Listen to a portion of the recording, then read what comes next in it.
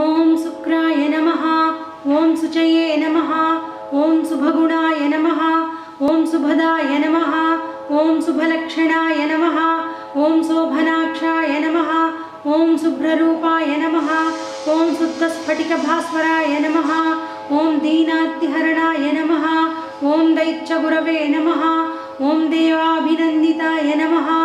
ॐ काव्यासक्ताय नमः ॐ कामपालाय नमः ॐ कवये नमः ॐ कल्याणदायकाय नमः ॐ भद्रमूर्तये नमः ॐ भद्रगुणाय नमः ॐ भार्गवाय नमः ॐ भक्तपालनाय नमः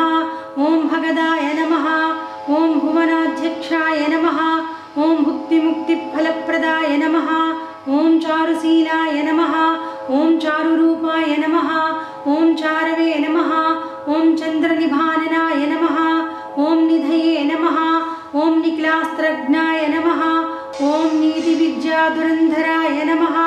ॐ सर्वलक्षणसम्पन्नाय नमः ॐ सर्वावगुणवर्जिताय नमः ॐ समानादिकविनिर्मुक्ताय नमः ॐ सकलागमपारगाय नमः ॐ भृगवे नमः ॐ भोगकराय नमः ॐ भूमीसुरपालनातत्पराय नमः ॐ मनस्विने नमः ॐ मानदाय नमः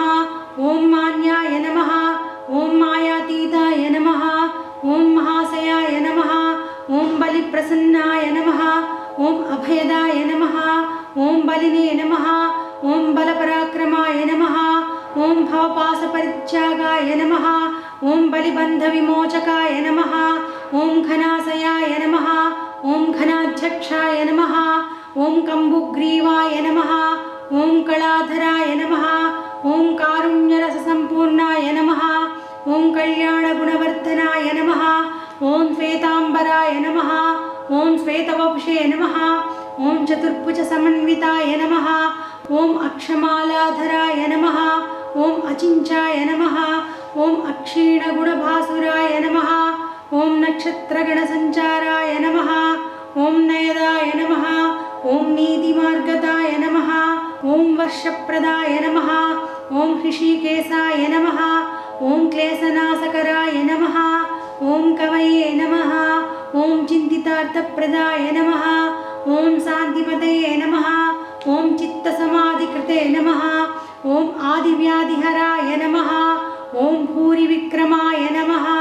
ॐ पुण्यदायकाय नमः ॐ पुराणपुरुषाय नमः ॐ पूज्याय नमः ॐ पुरुभूतादिसन्निधाय नमः ॐ अजेयाय नमः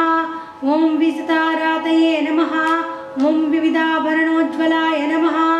ॐ कुन्दपुष्पप्रीतिकासमन्दहासाय नमः महामतये नमः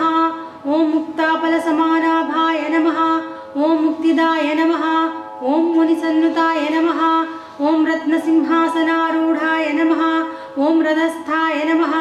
ॐ रजतप्रभाय नमः ॐ सूर्यप्राग्देशसञ्चाराय नमः ॐ सूरुशत्रुसुहृदे नमः ॐ कवये नमः ॐ तुलावृषभराशिसाय नमः ॐ दुर्धराय नमः ॐ धर्मपालकाय नमः ॐ भाग्यदाय नमः ॐ भव्यचरिताय नमः ॐ भवपासविमोचकाय नमः ॐ गौडदेशेश्वराय नमः ॐ गोप्त्रे नमः ॐ गुणिने नमः ॐ गुणविभूषणाय नमः ॐ ज्येष्ठानक्षत्रसम्भूताय नमः ॐ ज्येष्ठाय नमः ॐ श्रेष्ठाय नमः ॐ शुचिस्मिताय नमः ॐ अपवर्गप्रदाय नमः। ॐ अनन्ताय नमः। ॐ सन्तानफलदायकाय नमः। ॐ सर्वैश्वर्यप्रदाय नमः। ॐ सर्वगीर्वाणगुणसन्नुताय नमः